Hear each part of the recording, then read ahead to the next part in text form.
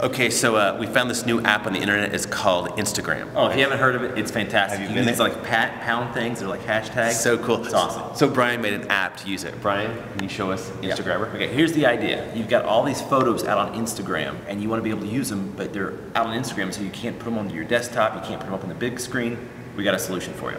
Here's what we're gonna do. We got an app called Instagrabber, and Instagrabber is really straightforward. Up here in the top corner, all you want to do is you put in whatever hashtag you want and hit search, and it's going to go out there and it's going to find all the photos. For this one, we did the NE morning show. They're using at CIY this summer uh, in Nebraska, and you can see there was 303 photos that got pulled in, and this is showing the first 32. And I can just sit here and keep it and load more, and I can see all these. So not only can I see them here, down here in the bottom, I've got a select folder area, and when I select that folder, I've said I want to save these photos into a folder called um, uh, I just called it download files, and here's where they're all going to be saving. So if I want to save any of these files into this folder, all I have to do is click on it, and it automatically gets saved right over there. It just got added.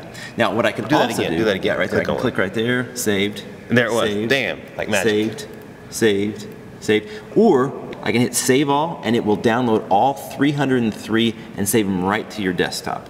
Now, right now you're thinking, wow, what can I do with all those? Oh, we've got some great ideas for you.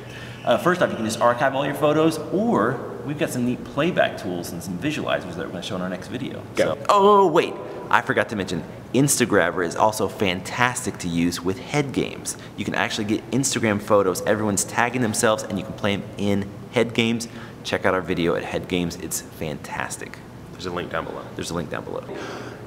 No, let me start over. So that's Instagrabber. If you got any questions, please let us know. But So check out the next app is going to be Insta Player. Ooh, because we can play back all the things we grabbed from Instagram.